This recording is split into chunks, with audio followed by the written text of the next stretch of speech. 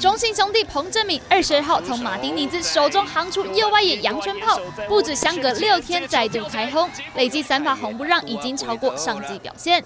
本季上垒率将近三成五，长打率则是四成二九，让粉丝们期待恰恰手感回春。等状态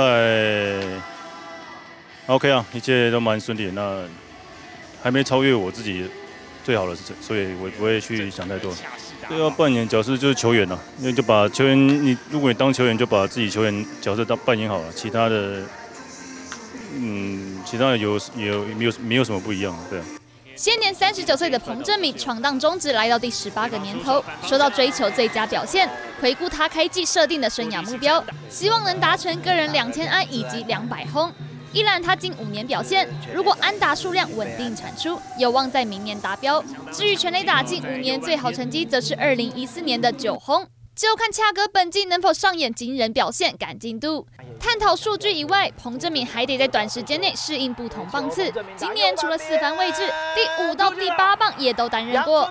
从去年就大家都一样嘛，大家都这都是这样调整的。那包括今年也是这样嘛。那其实我想大家都经过去年之后，就今年都还蛮习惯这样的调度，对。严禁捕获的恰恰力拼纪录新高度，也难怪被阵中学弟们尊称为土地公一般的存在。相信这下高门槛的目标是另一种前进的动力，缔造棒球新篇章。YTV 新闻采访报道。